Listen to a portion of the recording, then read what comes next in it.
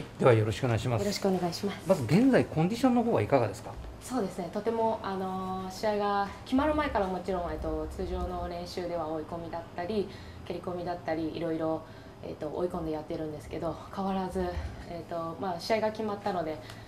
より一層気合いを入れてできているのでコンディションはとてもいいと思います。えー、改めてなんですけれども、まずこう K1 のへの参戦が決まったこう心境というのはいかがですか？そうですね、えっと、私がテレビで見ていたそのここの代表の山本優也さんが出てる時からすごい見させてもらってましたしここの、えっと、道場の先輩方が出ていて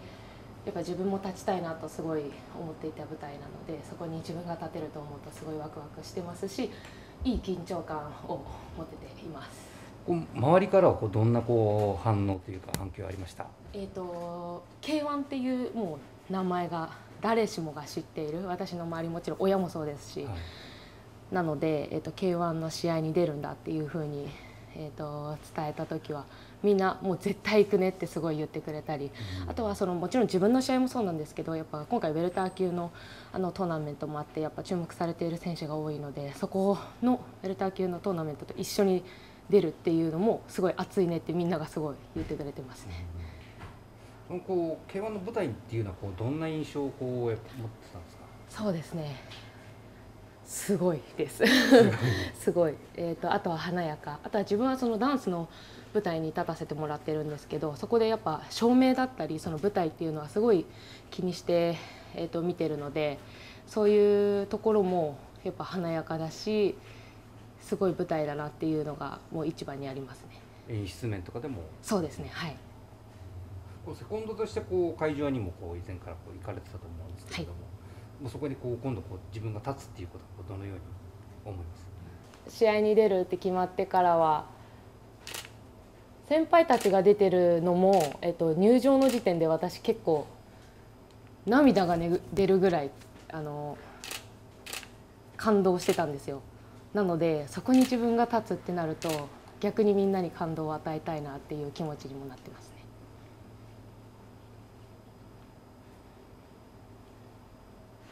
で今後今こう K1 参戦に向けてはどんなことをこう意識して練習をこう続けてらっしゃるんですか？そうですねやっぱり K1 に出てる選手は花があると思うしその中でもやっぱり生き残っていきたいしチャンピオンになりたいという気持ちが強いので、えー、と誰が見てもかっこいいチャンピオンになるなこの人強いなうまいなって思ってもらえる選手になりたいと思ってますね。あの先ほどダンスのお話も出ましたけれども、はい普段ダンスの先生としてもこう活動している子っていうなんですか？そのダンスを始めたきっかけっていうのはこう何なんですか？ダンスを始めたきっかけは、えー、とテレビに出ていたう歌って踊るマックスのグループはい。歌って踊るグループのマックスさんに憧れてテレビを見て自分も踊れるようになりたい。歌いたいはそんなになかったんですけどやっぱキラキラしてる。その時ちょうどテレビに出ていた時に全身マッキンキンのギラギラの衣装で踊ってたんですよ。はい。それがかっこいいなと思って自分もダンスをやろうと思って高校1年生の時に始めました。マックスって沖縄のあそうですそうですそうです安室奈美の後ろでにそうですそうです。最初にいた格闘技かこうダンスかどちらかに専念するっていうこういう考えっていうのはこうなかったんですか？えっと、もともとここに、この家道場に所属する前は、えっと、ダンスがメインの時があったんですね。高校1年生からダンスを始めたんですけどもその時にダンスを3年間4年？もっとだな。えっ、と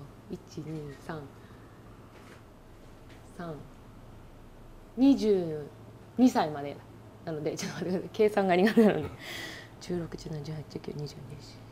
161718192027年間ですね、はい。7年間ダンスをメインで、えっと、活動していてその頃は空手だったりもともと一番最初は空手がスタートだったんですけどその時はちょっとお休みしててもうダンスだけ。就職してダンスのインストラクターとしてずっと働いてたんですけどやっぱりずっと格闘技がやりたい。ずっと YouTube で見てたんですよ。クラッシュの試合とかを。はいでやっぱかっこいいなと思ってたりしていて会場に見に行くこともありました。好きなんだけど自分ができる時間がないなとすごい悩んでいてやっぱりやりたいって思ってそこの職場を退職してキックボクシングをやりながらその時一回ダンスから離れたんですけど、はい。そのそこでもともとやってた職場の生徒さんがやってほしいって連絡をくれて、はい、じゃあダンスの方は週1週2でやって格闘技にしっかり専念できるようにしようと思って今両立してるって感じですね。はい、こう結構そのまあ両立させてやることに自分の中では意味があるのかなっていうふうに考えてますか？えっ、と毎日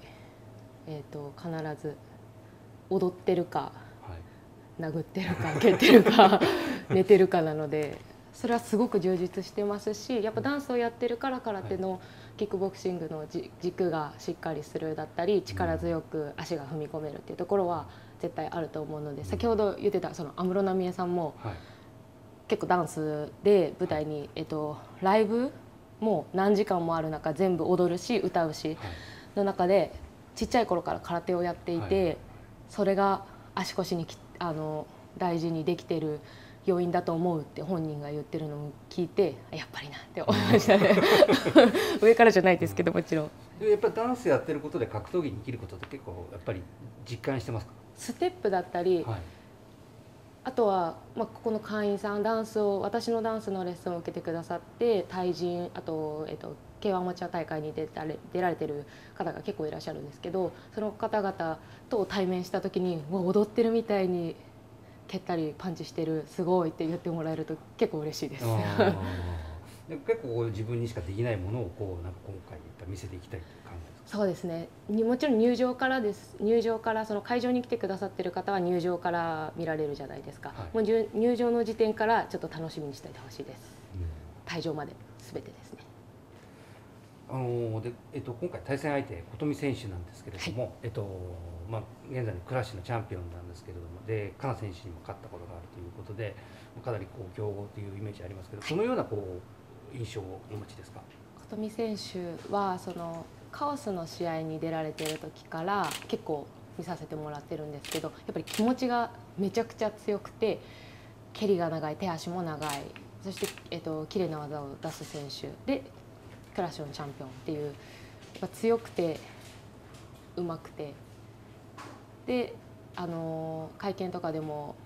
言ってたんですけどやっぱチャンピオンらしい、えーと、生活をしているって言ってたのもすごい聞いていてやっぱかっこいいとも思いますしでもそこを超えていかないといけないなと思ってるのでいい意味ですごい気合も自分の気合も増してます。あのまあその